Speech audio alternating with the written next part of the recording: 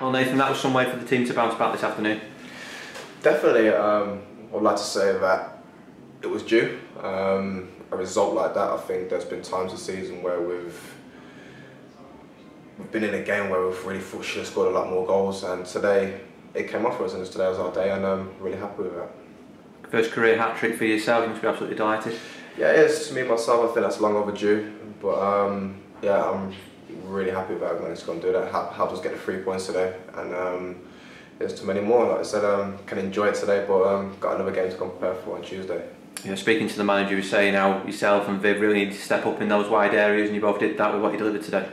Yeah, um, like I said, um, he's always um, onto onto what's going on. So we've got to deliver the goods and we've got to do it for 90 minutes as well. Um, got to make sure we're always a threat, constant threat, and he's always looking at um, well, everything that we do. And he's got a lot of belief in us, and we've and we've got to show that back, back to him as well. And um, thankfully, we did that today.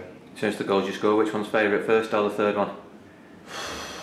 I enjoyed all of them. To be fair, I mean the first one I was really happy with, but uh, third one I was really happy with as well. With the header as well, I've, we've been talking with the staff before and um, saying I need to go and score more headers, um, especially with how I can be in the air. But um, I said any goal is a great goal, to, um, great goal and that kind of thing. And like I said today, I'm really happy we managed to get three, and it helps us get the three points. And you mentioned how many chances we've been creating this season. It was sort of about time that we were that clinical with them.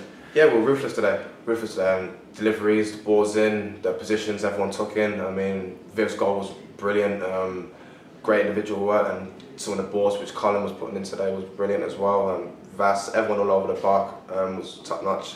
And it was like goals like Longy's goal, which is a ball dropped, um, which is sort of thing which hasn't really fell for us this season. But today it was our day, and um, really thankful for that. We all are, so we all can enjoy it tonight. And in terms of making this an important result, it's about backing it up against Northampton now on Tuesday. Yeah, that's always the case. Um, once you get a victory, you've got to try and make sure you back up and back it up in the next game. And um, I'm pretty sure we're all, we're all going to prepare right and um, we'll get ready because it's another big game on Tuesday and um, we go again.